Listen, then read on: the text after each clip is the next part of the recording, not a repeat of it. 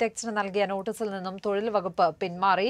പുതുക്കിയ മിനിമം കൂലി നിയമം നടപ്പാക്കണമെന്നാവശ്യപ്പെട്ട നോട്ടീസ് മരവിപ്പിച്ചു. വിവരങ്ങളുമായി ഇപ്പോൾ ഷാമിൽ അമീൻ ചേരുകയാണ്. ഷാമിൽ തൊഴിൽ വകുപ്പ് നേരത്തെ നൽകിയ നോട്ടീസിൽ നിന്നും പിന്മാറിയിരിക്കുന്നു. എന്ത് കാരണമാണ് പറയുന്നത്? ഇതിന്റെ കിറ്റക്സിന്റെ ഭാഗത്തു നിന്നുള്ള പ്രതികരണങ്ങൾ ലഭ്യമായിട്ടുണ്ടോ ഈ ഘട്ടത്തിൽ?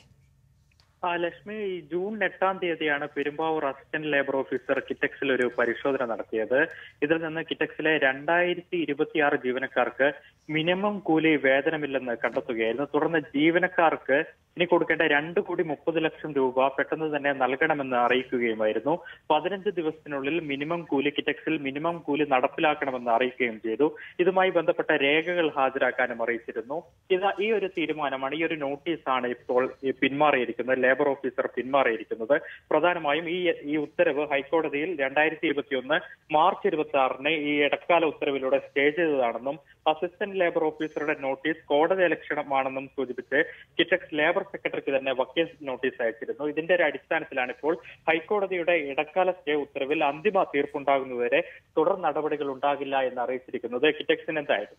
സ്വാഗതം ചെയ്യാവുന്ന നടപടിയാണ്. കിറ്റക്സിന് ഈ നടപടിയിൽ നിന്ന് പിന്മാറിയതോടുകൂടെ കിറ്റക്സിന് അനുകൂലമായ ഒരു തീരുമാനം കൂടിയാവുകയാണ്. പ്രത്യേകിച്ച് ഇതിനോടകം ആറ് സംസ്ഥാനങ്ങൾ കിറ്റക്സിനെ ഔദ്യോഗികമായി തന്നെ മറ്റ് സംസ്ഥാനങ്ങളിലുമായി സഹകരിക്കേണ്ട കാര്യത്തിൽ ക്ഷണം നൽകിയിട്ടുണ്ട്. ഈ ഒരു സാഹചര്യത്തിൽ ലേബർ വകുപ്പ് തന്നെ ഇതിൽ നിന്ന് പിന്മാറിയത് കിറ്റക്സിന് അനുകൂലമായ ഒരു നിലപാടായി ഇതിന് കണക്കാക്കാം. ലക്ഷ്മി.